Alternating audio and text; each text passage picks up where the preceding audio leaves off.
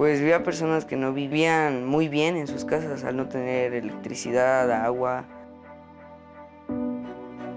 Investigué algo que se llamaba método Moser y desde ese punto se modifiqué esa idea metiéndole LEDs y celda solar. En mi escuela cada año hacen un proyecto e inspiran a los alumnos a hacer proyectos innovadores para ayudar a un grupo. Aproveché el momento para ayudar a esta comunidad.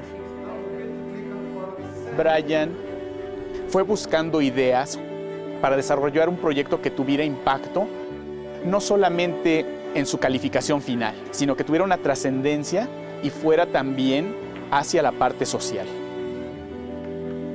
Construir las lámparas usando materiales reciclables y usando materiales que se consiguen muy fácilmente.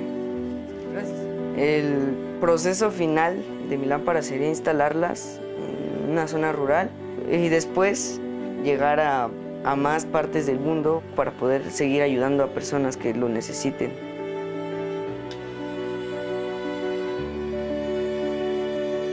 trabajo haciendo tamales. No los podía hacer porque no tenía luz, pero ahora ya, ya me voy a levantar temprano. Todas las personas pueden resolver problemas. Si los colegios y las escuelas generamos esas posibilidades, lo pueden llevar afuera de su casa, a su país e inclusive al mundo.